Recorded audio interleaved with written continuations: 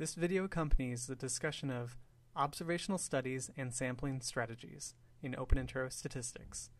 In particular, we will learn about two types of observational studies and three types of sampling, including the fundamental approach of simple random sampling, the divide and conquer approach of stratified sampling.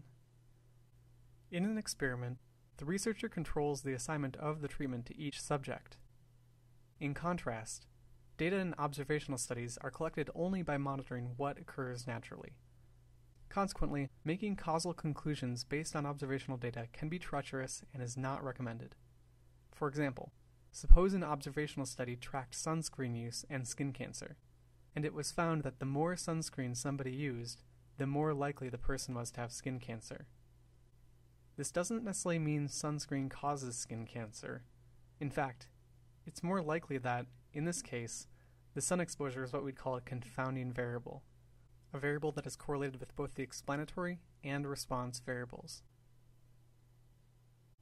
Observational studies come in two forms prospective studies and retrospective studies. A prospective study identifies individuals and collects information as events unfold. On the other hand, retrospective studies collect data after events have taken place. In either case, selecting a sampling strategy will be an important part of designing the study.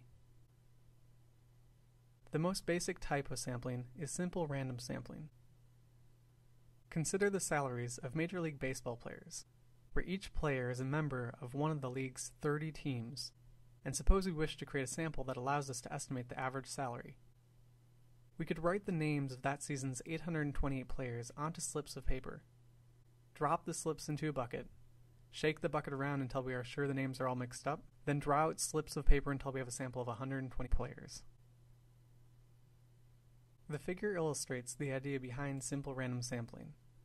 The blue dots represent the individual baseball players, and the bigger red dots represent those players selected for the sample.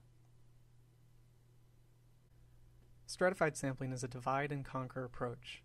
First, the population is divided into groups called strata, which are chosen so that similar cases are grouped together. In our baseball example, the teams could represent the strata.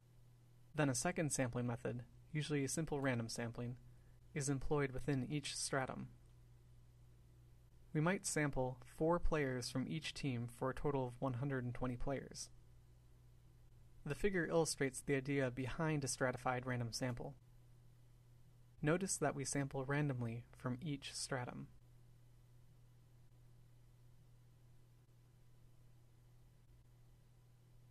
In this video, we learned about two types of observational studies and types of sampling.